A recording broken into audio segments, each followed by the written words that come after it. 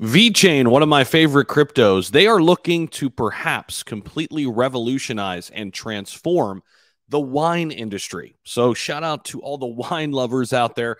I'm a red wine uh, guy myself, nice little Cabernet or sometimes, uh, you know, a blend or something like that. But VeChain, obviously, in the area of supply chain management, and they can take this hundreds and thousands of different ways.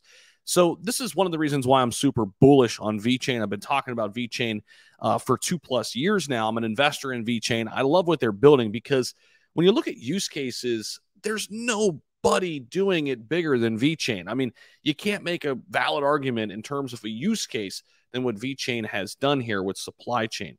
So now this news comes out VeChain to transform the wine industry with My Story Digital Passport. So the VeChain blockchain is essentially now aiming to achieve sustainability and transparency in the wine industry. They're doing this through an NFC tag wine bottle, which would provide detailed product information. Wine fans, uh, wine fans rejoiced as DNV tried VeChain's wine traceability platform to boost the wine production ecosystem. The system will keep track of the wine's complete life cycle from wineries to distributors by benefiting from the power of blockchain, mobile, and IoT, Internet of Thing devices. When we talk about crypto, when we talk about blockchain, we want use case.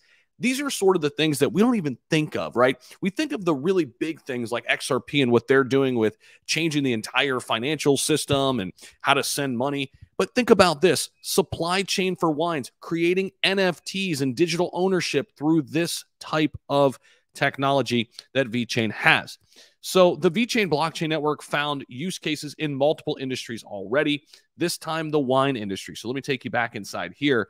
And uh, it says, this time, the wine industry would benefit from their expertise as the system addresses sustainability and transparency issues in the wine production process. The industry is already facing a war with carbon footprints and counterfeiting. Maintaining transparency, uh, transparency is of prime importance. DNV focuses on offering sustainable supply chains and food systems. The firm recently showcased its My Story digital passport at the London Wine Fair in 2023. The blockchain network was chosen considering its experience handling supply chain issues in the wine industry. VeChain launched its wine traceability platform way back in June 2008.